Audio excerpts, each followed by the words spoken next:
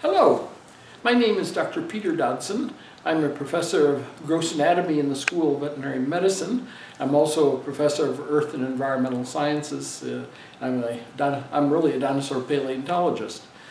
Uh, so I'm, I'm just delighted to welcome you on this trip. I cannot tell you how excited I am. Uh, this, is, this trip is surely a trip that's been on my bucket list. I love the zoo. I, I, I, went to the zoo last week with my veterinary students. I'm going to the, the zoo this week from the, uh, with my veterinary students. I can't stay away. I can't get enough of animals. And imagine this experience that we are going to enjoy together.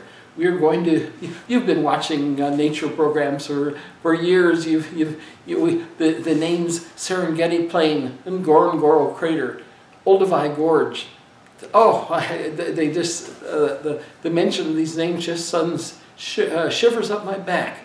So this is going to be a zoo with no bars. Uh, it'll be so wonderful to see the animals in the wild.